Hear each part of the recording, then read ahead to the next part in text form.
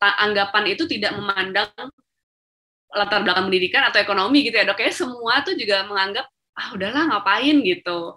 Nah eh, tanggapan saya adalah yaitu kita perlu mengingat bahwa anak-anak itu butuh nutrisi untuk bertumbuh dan berkembang.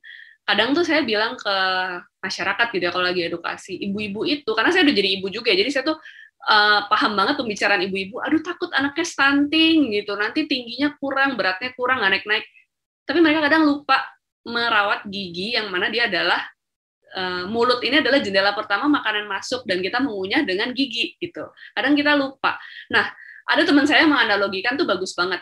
Uh, mau nggak sih kita makan pakai sendok yang nggak pernah dicuci? Nah itu ibaratnya kita kalau misalnya nggak pernah sikatin gigi anak, itu giginya ibarat si sendok itu kita pakai terus sudah kotor dipakai lagi dipakai lagi gitu.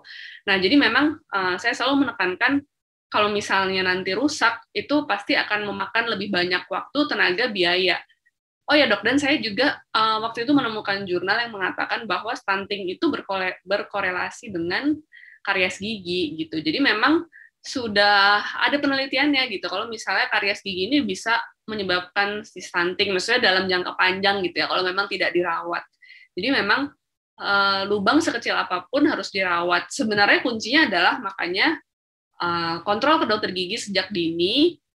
Dan ini tadi ada yang nanya juga sih mungkin sekalian menjawab ya sebenarnya dianjurkan sejak gigi pertama tumbuh atau paling lambat enam bulan sejak gigi pertamanya tumbuh. Biasanya kita ambil rata-rata atau setahun gitu. Jadi pas ulang tahun jangan lupa cek ke dokter gigi. Dan rutin per enam bulan atau sesuai anjuran dokter giginya ada yang dianjurkan empat bulan kalau memang resiko berlubangnya lebih besar gitu. Tapi kadang orang tua udahlah kalau nggak ada apa-apa nggak usah.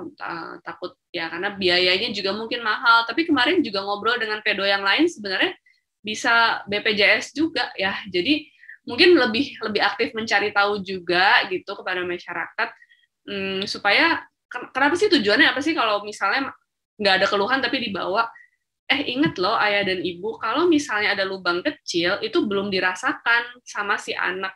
Dan orang kadang lubangnya gede aja anak juga belum bisa mau bilang kok ya kan? Jadi uh, pasien saya itu paling kecil setahun itu rawat saraf udah banyak banget ya. Nah mungkin kita ngelihatnya anaknya cuma nangis aja. Kenapa sih ini nangis terus gitu kan? Mungkin orang tuanya nggak ngeh juga gitu. Padahal dia lagi mengkomunikasikan bahwa itu sakit gitu loh. Nah jadi lubang pokoknya apalagi yang kecil aja tuh belum belum terasa oleh anak dan belum terlihat kasat mata oleh orang tua. Nah, jadi hanya dokter gigi yang bisa melihatnya dengan pencahayaan sedemikian rupa di ruang praktik dengan posisi kursi yang sedemikian rupa itu bisa dideteksi sama dokter gigi dengan alat-alat dokter gigi. Jadi memang uh, itulah pentingnya gitu dan semakin cepat ditangani semakin mudah, semakin tidak menyakiti ya, semakin lebih nyaman buat anaknya gitu.